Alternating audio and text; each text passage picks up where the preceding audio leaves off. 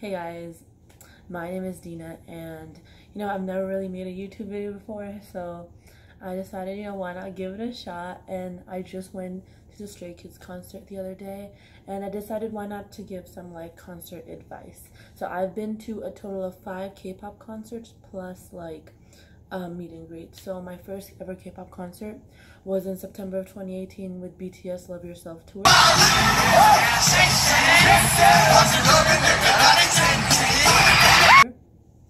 My second one was February of 2019 with Red Velvet. April, I met NCT. They went to a radio show and I got in, so I got to meet them. Welcome! Take a picture with them. And then after that, I went to Super M in late 2019. Yes, 10! Fuck it up! And then in January, I went to 17 and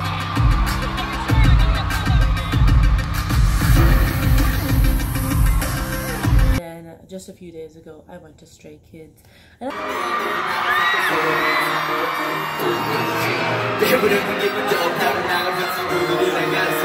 I've been like meeting on starting YouTube for a while, but like hmm, it didn't work out because I'm lazy. Okay, so um, this is really I don't know why I'm just, just on the camera. Okay, so I just wanted to give some advice for all of you who like maybe never been to a K-pop concert or are planning to go but just don't know what what to do or like how to start off with it.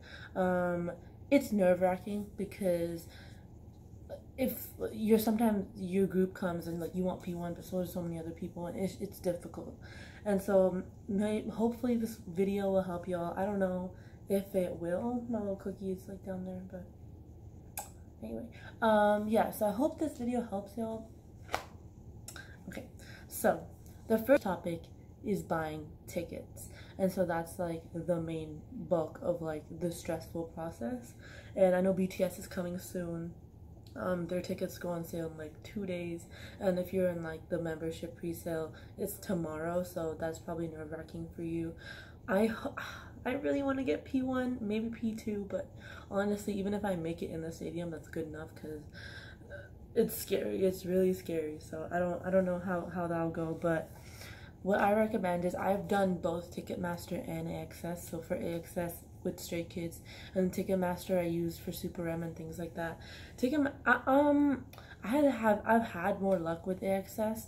I've I've gotten better seats with AXS, but Ticketmaster might be a little bit easier. I don't I don't really know, but okay. So I'm gonna kind of break down the pros and cons of both. So if you're doing AXS, for Stray Kids it was really weird. So for Stray Kids they did not have a waiting room, which I'm not sure if that was a a great thing or not because the bad thing about it was that obviously more scalpers, more people just coming in like buying a bunch of tickets. And then it's not unexpected. They didn't say that they weren't gonna have one. And then like the good thing about it was that there's no waiting room. You don't have to wait in like a long line. You just go in and like fend for yourself. And so you just for for AXS, if you're buying tickets from AXS, I had around 18 tabs open between three different devices. So my phone was one of them. I had the app. I had my laptop and then I had like do not open different tabs. Open different windows and then minimize the windows and then put them in like around your screen so like you can see all of them at the same time and you can see which one's working the most. And then I had like six other ones on my brother's computer and so all those at the same time I tried and so you'll see that one or two of them process like way faster. And so once you get all those tabs open, you kind of just monitor them all and keep refreshing, refreshing, refreshing, and one or two of them will just hit. The other ones would probably some like five of mine crashed. The others like were slow, but two of them kind of just got in. And so if you don't get the ticket you want in the first try, I made the mistake of almost getting the ticket. So like I wanted P1, but I almost got P2. And then my, my friend who was on the phone said, no, no, no, wait, like I think I got P2. And so she bought the P2. And then I was like, you know, just in case, this was 40 minutes after the tickets went on sale. Just in case you just re constantly refresh the page. AXS is weird. It releases tickets in bunches. It doesn't release everything at the same time. So you must like just just if it says no more tickets available as well. Like if there are going to be tickets available, you just have to constantly refresh, refresh, refresh, and they're like constantly giving you more. So then I end up getting um, P1 for Stray Kids for High Touch. That was great. It was a great. We got seat and it was a great thing. If y'all want to know about more about my experience on that, let me know. But this is just like an advice video. You should be at like the ticket selling website wherever you are at least an hour before. It might seem a little excessive, but it's better to just have everything set up an hour before and then you can chill till the time versus like getting there 10 minutes before and trying to set everything up and then you're late. So make sure to have everything set up and then you can do chill whatever and then it'll automatically take you to the waiting room and then you can wait there i per- i recommend y'all to get really good wi-fi so if you think your house or your school your dorm whatever does not have great wi-fi then i do recommend you go to either starbucks or like a PC bang or something like that where you can actually get good quality Wi-Fi. Um, my one of the girls I met at the Stray Kids concert, she got first row of Stray Kids and she was at Starbucks bathroom. So like lowkey, I think I'm gonna go to Starbucks, but the BTS tickets and let's see how that goes. I'm so terrified. Okay, so with Ticketmaster, Ticketmaster is trash. I hate Ticketmaster because they don't allow you to have 50 tabs. Ticketmaster is a rule where it's like if you have more than like one or two tabs open, they like they tell you they take you out of the line. So you kind of only have one chance. And then Ticketmaster also has more scalpers. And then Ticketmaster also does dynamic pricing, which is I think it's the stupidest thing ever. As soon as things go up in demand, like the price is raised, and it's just it makes no sense to me. It's just another way to make more money.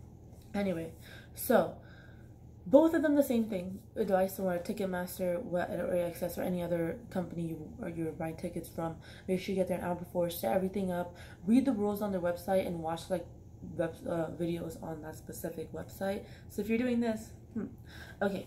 So when you get your ticket, unless you have a specific ticket in mind that you just really want, like um, you only want P2 or you only want P4, right? Pick that option. But then if you want the best seat, just pick best seat, right? And if if like you pick best seat and you get P2 but you want P1, just go back and continue clicking best seat. Like that's not the best seat. That's just the one that's probably not on someone's cart right now. So just if you don't get the ticket you want, just keep going. I've watched videos of people uh, an hour after they like the tickets go on sale, they still get P1 because people uh, either their screens crash, their their tickets they lose it in the cart and stuff like that.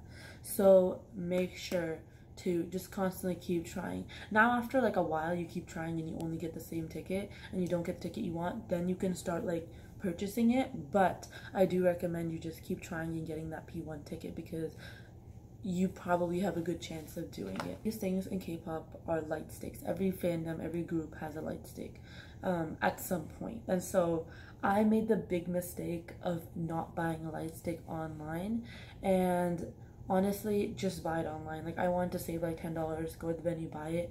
But Stray Kids light stick sold out in 10 minutes. In 10 minutes, they did an announcement of doors opening that they sold out light sticks and I was in the merch line and they sold out. It was so upsetting. And but in just in case I packed a set of fairy lights and so there are these like battery powered fairy lights and um, I wrapped them around my hand so I'll insert a picture here over here or somewhere editing skills and so I wrapped them around my hand and I just kept waving my arm my arm is so sore like but it was worth it because my battery is the one I bought. It was like thirteen dollars on Amazon, and I ended it could change to like fifteen different colors, and so every time a song came on, I like changed the color to that song, and it like it worked out really well. It really it does a good job getting people's attention. The members just like looked at my arm and they were like, "What is happening?" But like if that's what you want, and that's what I wanted, so if that's what you want, that's a good little technique. Also, I had a meme shirt Hmm, I was planning on wearing it for this video, but I completely forgot before I started.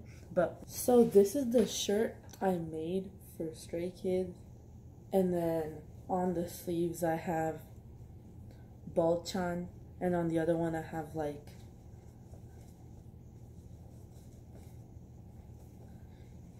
Sneaky Honey, and on the back it says Stray Kids World Domination. But yeah, so I made this shirt and a lot of people complimented it and I think and I think that Stray Kids noticed it because a few of the, like Han especially like looked at my shirt and he laughed and I'm sure y'all don't know but Jisung is like my ult bias so that was that was great. And so yeah so make sure to buy a light stick online. It probably is a little more expensive with shipping but it's worth it. Like you don't go to concert and just not have light stick. I I personally have been to every single concert without a light stick. The only concert I've ever been to with a light stick was um was BTS. But after that, every single concert I've been to, I don't have a light stick. And you don't need a light stick. And personally, all the concerts I've been to, I've been to like P4 or P5. I don't have, and so Kids is the only one that I went to P2, sorry, P1.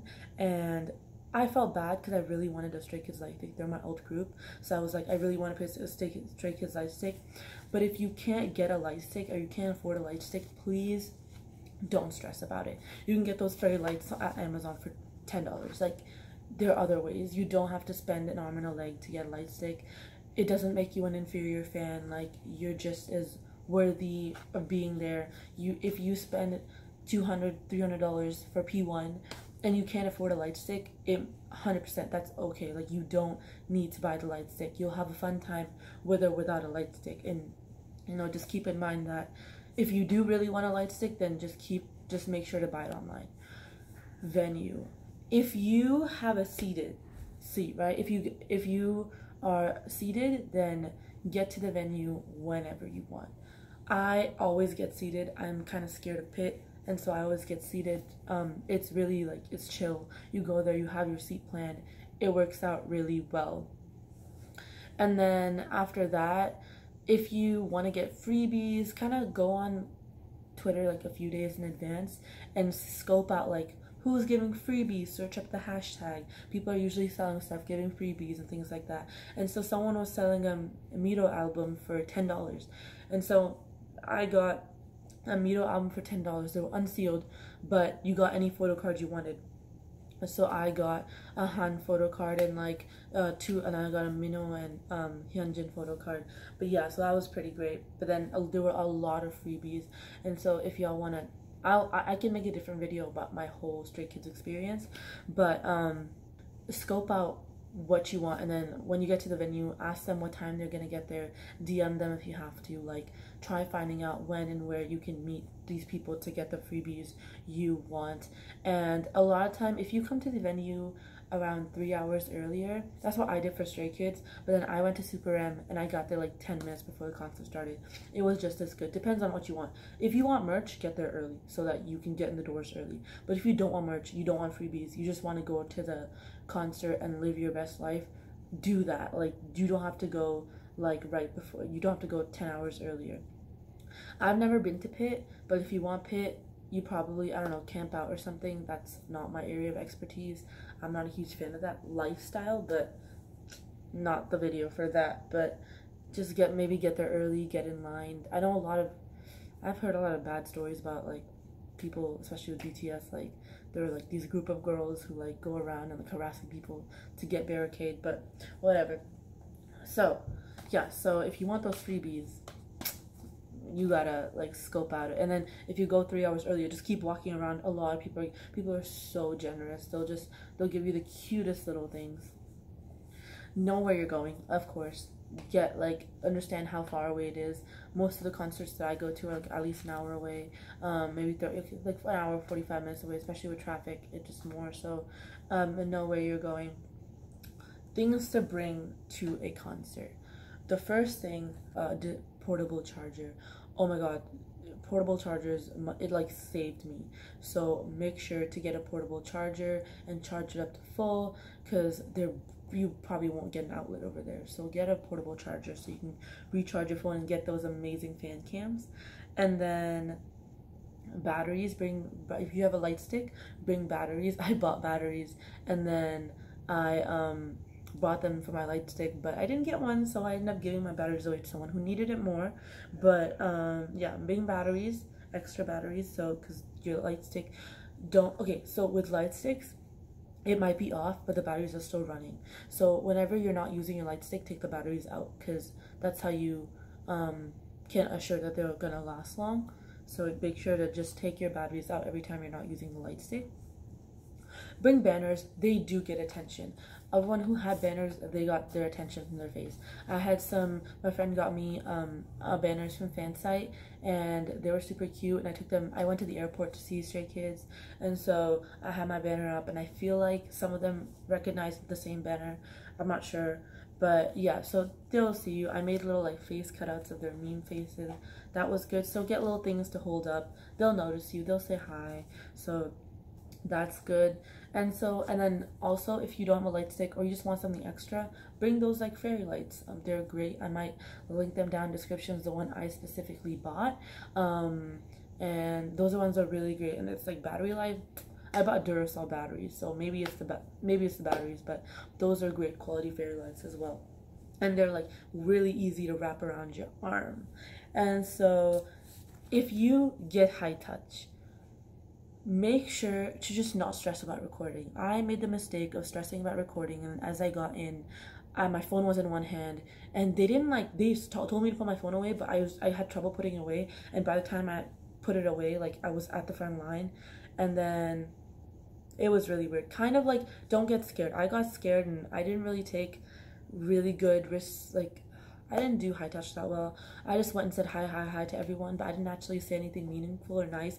I had so much planned for high touch, but all I could get was just saying hi to members, and it kind of just ruins everything because it's like it's kind of like the only chance. I don't think stray kids are gonna come back and do high touch again. Um, they're probably like what groups do is like the bigger they get, the less benefits you get. So they might come back next year and do sound t- sound check. But yeah, that was really unfortunate and I wish I did better, but yeah, I ended up actually getting a video of like I didn't realize I thought I didn't record it, but I got home and there was a voice recording of my high touch and it's basically just me saying hi. So it's really sad. But yeah, don't stress about too much, but kind of understand what you're gonna say and it's high touch is literally like 10 seconds long.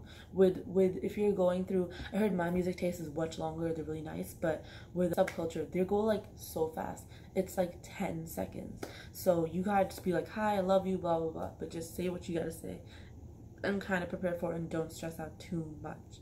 Those are kind of like my basic tips and tricks for concerts.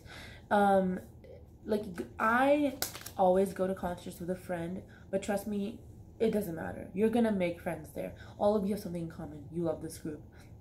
In the lines you wait, um, while you're seating the person next to you, there's so many nice people. K-pop fans are so sweet, so welcoming.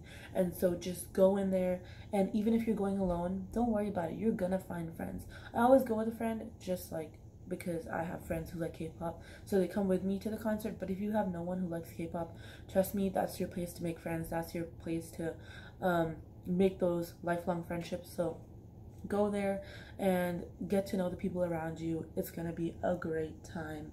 And that's if you want merch, honestly, if you really, really want, I'm pretty sure merch that isn't light sticks doesn't sell out at concerts. So if you want to buy something that's like not a light stick at a concert, you'll probably get it. But just in case, be if you want a light stick, make sure to buy it online because I made that mistake. I didn't get it. Get battery packs, know where you're going, um, and things like that. I saw Stray Kids at the airport. I went to go welcome them. So if y'all want a video on like how to welcome your K-pop group to the airport, like let me know and I can make a video on like how to welcome K-pop idols. We were super respectful. We didn't mob, thank God. We gave them ample space to walk, and that's what you need. And you can see in their faces, they're just so happy with the amount of respect you give them. So the more respect you give to your idols, the better they are. And so, yeah, that's kind of like my little advice video on just like the basic rundown of like buying concerts, K-pop, things like that, just my little tips and tricks. If you have any more questions, leave them down below And yeah, bye.